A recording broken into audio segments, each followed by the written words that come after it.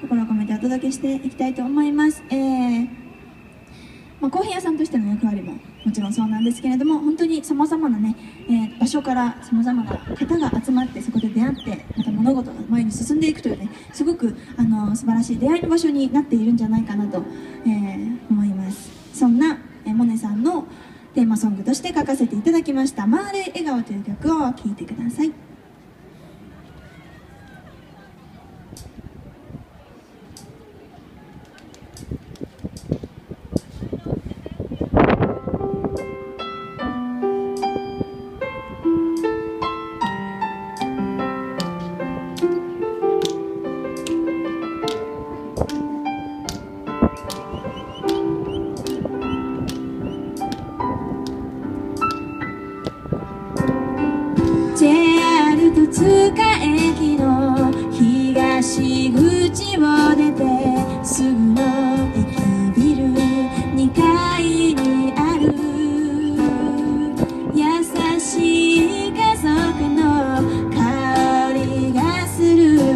喫茶店もね。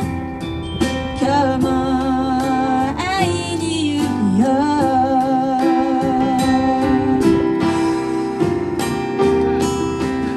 私の密か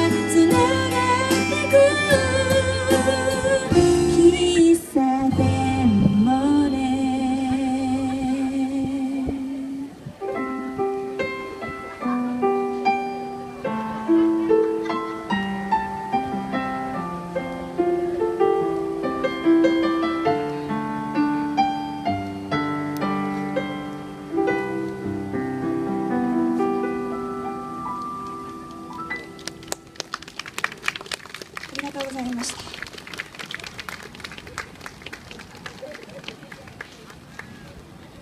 はい、えー、聞いてくださってありがとうございました、えー、喫茶店モネさんのですねテーマソング「丸い笑顔」という曲をお届けしました、えー、というわけで次の曲はですねピアノと歌だけでお届けしていきたいと思います。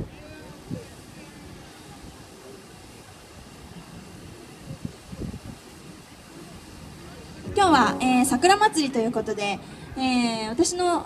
えーと、テーマソングじゃない曲なんですけれどもオリジナル曲であの1曲だけですね桜の曲が実はあってでも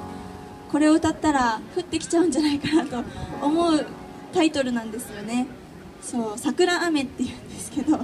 だからちょっと怖いなと思うんですけどあのー、せっかくねこの季節しか歌えないので、聴いていただきたいなと思います。